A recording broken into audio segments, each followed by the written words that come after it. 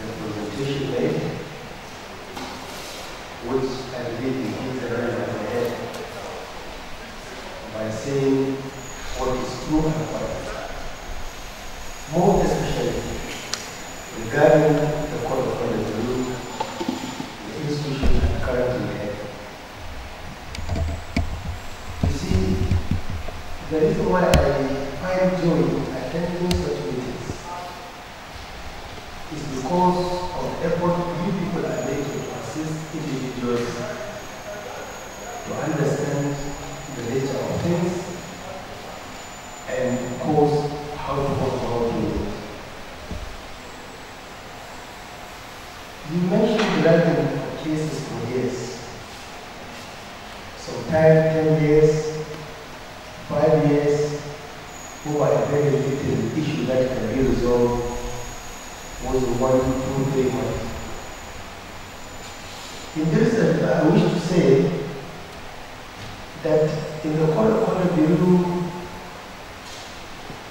is a different case. It is a different case in the sense that we are the only anti-corruption agency that has its own court. That is the Court of Conduct. Whatever case we investigate, we take it to the Code of Conduct Bureau. We have our team of lawyers, we have our team of investigators, and immediately when we find a case, we can finish that case within one to two weeks. But then, let me use this opportunity for people to It's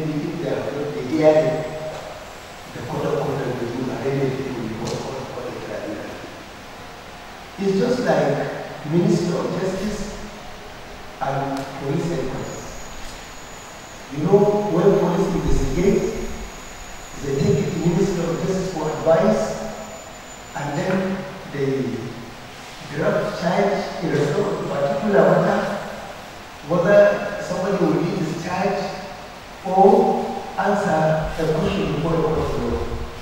They take it to court. So it is something was called a the tribunal when our investigators investigate regarding the impression of the code of conduct for public officers. We find our cases at the code of tribunal. So if the code of is not doing the there is no way you can get anything about the code of tribunal. I want you to take note of this. We need to be assisted. You need to advocate so that the code of conduct tribunal sit up to do the needful so that we can make the country proud in terms of fighting against corruption. Then, I'm happy you mentioned the status of the Code of Conduct Bureau. It is an agency that is created under Section 153 of the Constitution. It is a pioneer. There is no anti-corruption agency that is created in the Constitution. So even if an agency will be scrapped, the Code of Conduct Bureau cannot be scrapped because it is in the Constitution.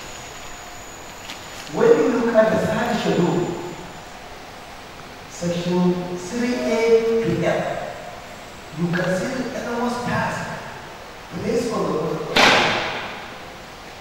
Administer asset declaration, keep custody of that asset declaration. I'm happy you mentioned the broad condition where he gets our asset declaration in a so Among the 14 federal executive bodies, I can say it's only the CCB that doesn't have its own permanent office accommodation. And this is a minus as far as against corruption is concerned. But I believe when I came in, we are pushing forward and the government is making effort to ensure that we get our own office accommodation and we will be adequately funded so that we can reach out even to the passenger at the local level, like the right dimension.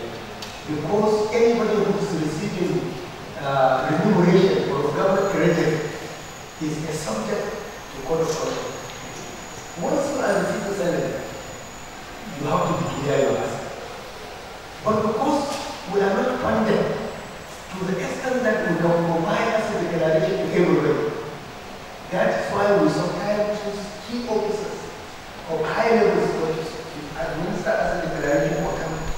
so they will be able to ensure that they respect the code of conduct as enshrined, code of conduct uh, public officers as Israel. So in this respect, I think it is a duty, maybe of ROLAC and other uh, organizations, to assist the CCB by doing some of training activities like light television. I'm happy they have a program that they are going to uh, train our staff and course, this issue has been on and on for over 10 years, but last three weeks I was with media and we are working together seriously to ensure that very will launch this online declaration so that nobody will have an excuse for not declaring this asset. NIDA is doing very well in that. They are going to train our staff, they are going to provide computers, and I believe it was role that when we get into people training, then the issue of asset declaration will be at the grassroots, at the doorstep of everybody in the country. Then, finally, this is of course the reason why we felt there is justification for us to be funded because there is the issue of training, there is the issue of investigation, prosecution in court, you know, gathering intelligence, and it is in this respect we see the assistance of non-governmental organizations to help us provide information regarding the operation of the court of the We cannot alone. The challenges we are facing is when there is a petition, we are just like a court. When somebody is doing that, you cannot jump into the arena to say, uh, you are responsible and going to investigate. But we need people that will support us. When you have potent reason, potent evidence, you should come forward. We are not going to release the identity of that person, but we need potent and verifiable evidence. When you do that by way of petition, definitely we are going to take off that, we investigate, and under your watchful eyes, will find that whatever